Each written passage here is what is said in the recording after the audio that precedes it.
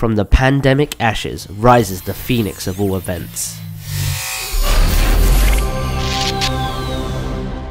So these are the typical steps that I would go through. Just couldn't be fucked. A very surprising feedback was, I really love his... Ah, shit. A little bit nervous. Oh my god, this is amazing. That's how you plan and execute on a conference. Oh, I think that made my day really. And action. I'm speaking at a conference. So what am I going to do? If you've never done a public speaking event before, it might be hard to figure out where to start. How do you prepare your material, make sure your slides are good? What goes into the planning process? I will hopefully shed light on how you actually plan to speak at a conference, what sort of process I go through. Here's what I'm going to do. First things first, let's do some planning. Uh, I was working on something else. We want to first think about personas. Who is the audience that we want to cater to? And what do we know about them? What kind of language do we use? And what sort of information will they find useful?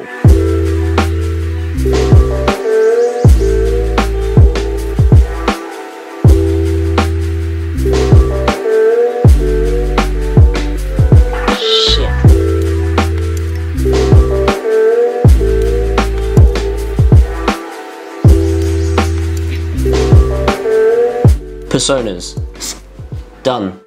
Then brainstorming about topics. How do we then map their needs to what we know about the subject we want to talk about?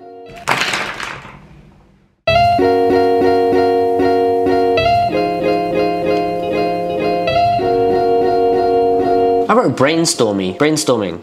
Done how do we then group that together to make sure it's more coherent and then our different ideas can start to form their shape and maybe tell a narrative?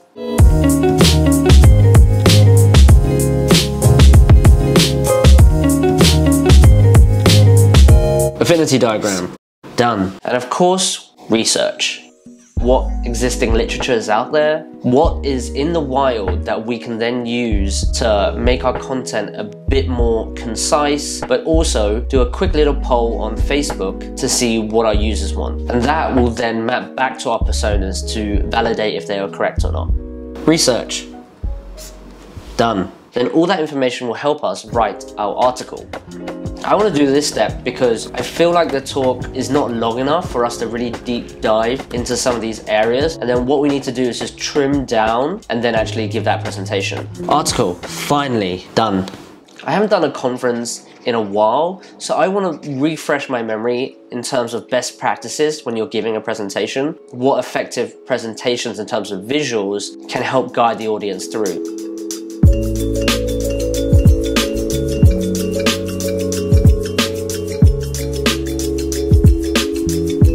Best practices, done. After that, actually create the slides and create the visual assets.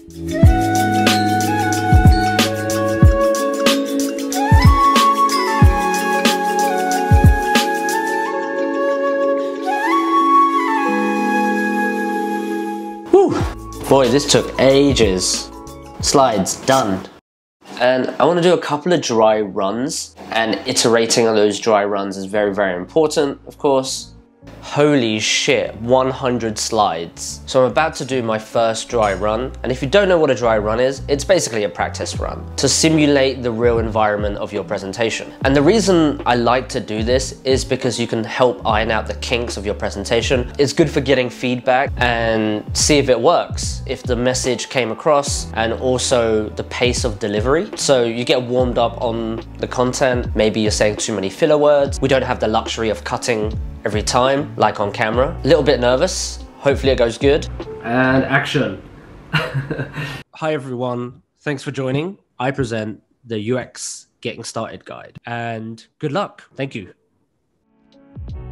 I just finished my first dry run and done. It went well. From 39 minutes, I got it down to 33 minutes, but I got some really good feedback. I wanna share some of these with you guys. And of course, I've written them down. I had feedback about content, so leaving out different parts or condensing different parts. Feedback about the flow, how one section flows to another section, so make that a bit more natural. And then finally, a very surprising feedback was actually be more Chris. So, uh, but overall, that went great. I'm ready to now iterate. Tomorrow, I actually have another dry run with the organizers to make sure I'm on top form. Today's dry run number two.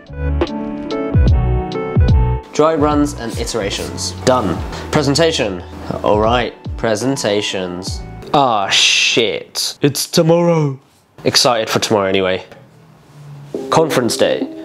Today's the day. Everything has been culminating to today. Let's get today started. First, of course, coffee, the setup, the mic, laptop, and another screen for Slack or any troubleshooting issues of the event. Yeah, I'm kind of nervous. Nervous.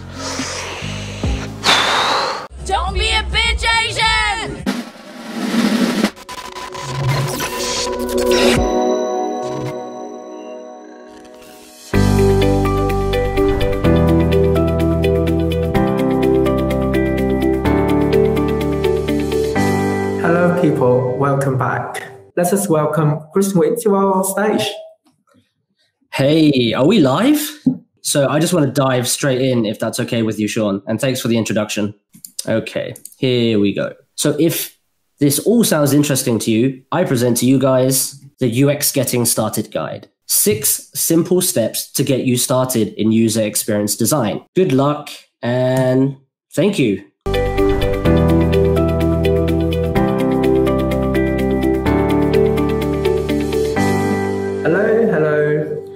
Now welcome our two panelists. Oh my god. Tell you a story yet again. Sorry, I'm full of stories because I'm an old man. Uh, holy shit. Oh, Chris is amazing. Like Bruce Lee says, if you want to learn to swim, get in the water.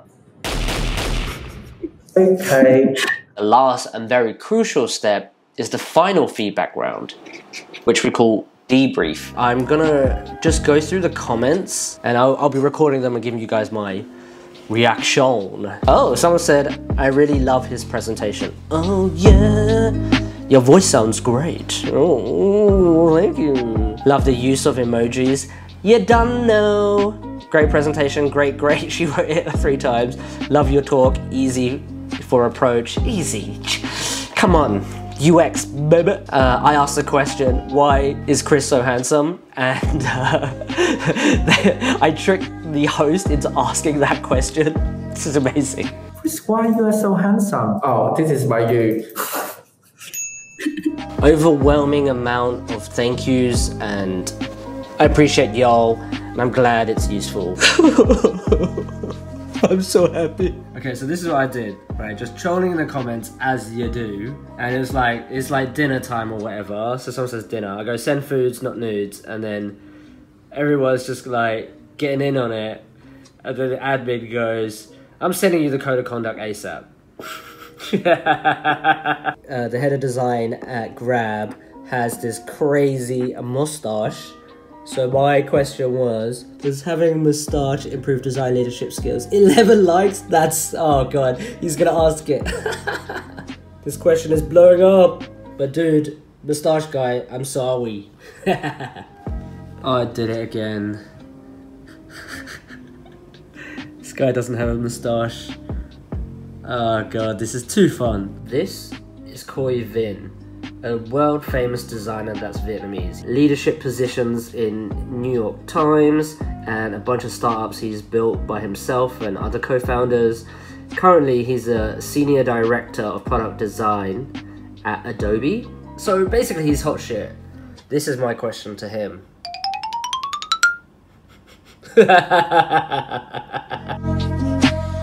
Presentation. Done. Debrief. Done. Done. Fuck. It's now 10 p.m. and the day is finished. It was a great success. Everybody was so awesome and I had a lot of fun. The event organizers were amazing. Uh, can't say thank you to them enough for being a part of this. My actual talk and panel discussion will be linked down below. But this is really just the behind the scenes, the whole planning of it, and also using design thinking just to help you prepare for your next conference. So I guess I'm gonna leave you guys with this. and uh, follow me on YouTube. Yes, please do.